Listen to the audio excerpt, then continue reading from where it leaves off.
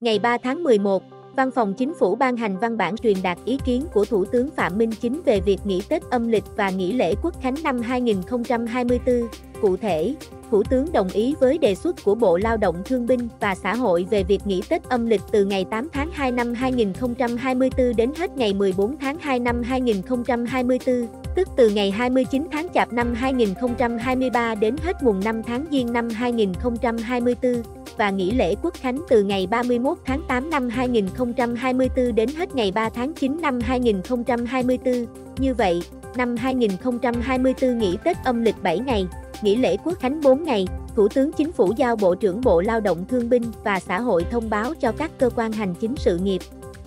tổ chức chính trị, tổ chức chính trị xã hội và doanh nghiệp, người lao động về việc nghỉ Tết âm lịch và nghỉ lễ Quốc khánh năm 2024.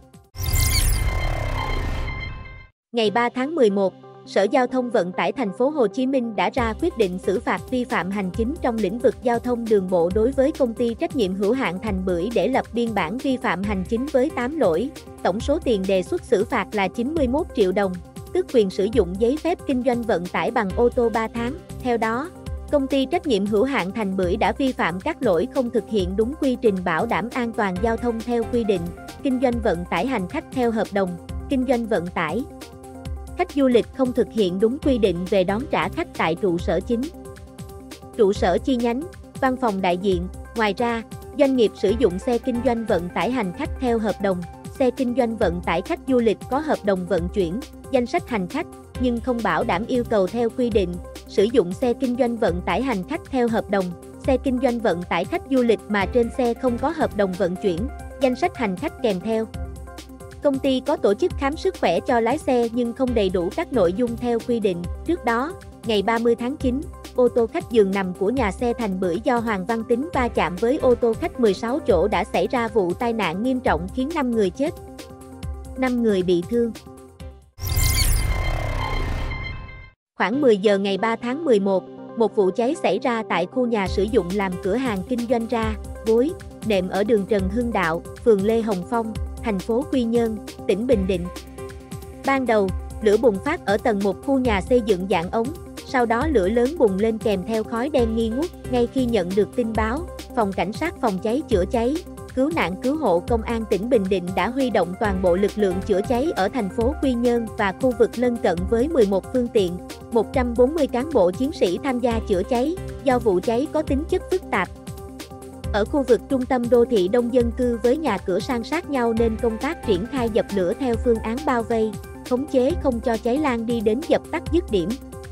Đến khoảng 11 giờ 15 phút lửa lớn được dập tắt hoàn toàn, thời điểm xảy ra vụ cháy tại khu nhà trên có một nhân viên đang bán hàng nhưng may mắn thoát nạn. Lực lượng công an đang khoanh vùng hiện trường vụ cháy để khám nghiệm hiện trường, điều tra làm rõ vụ việc. Tại hiện trường, toàn bộ vật dụng, hàng hóa trong khu nhà đều bị thiêu rụi, tường vách ám khói đen.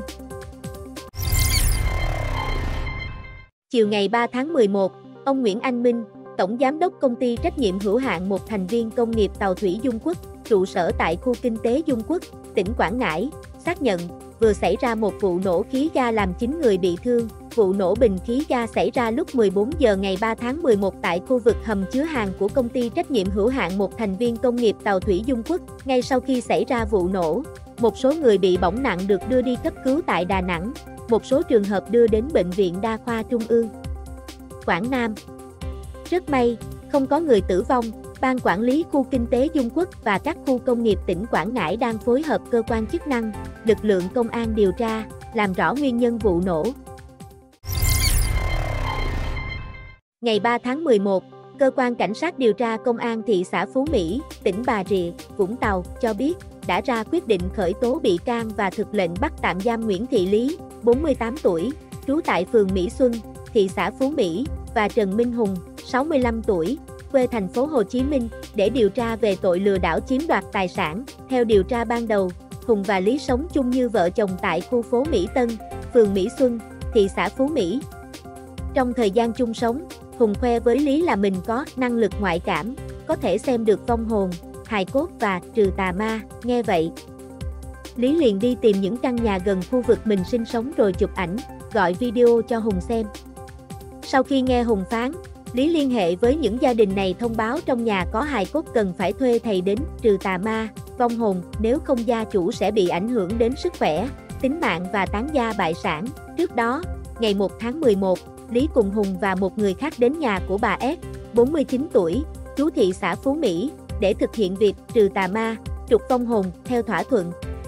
Sau khi thực hiện nghi thức mê tín dị đoan, người nhà đưa cho Lý một bọc tiền trong đó có 200 triệu đồng.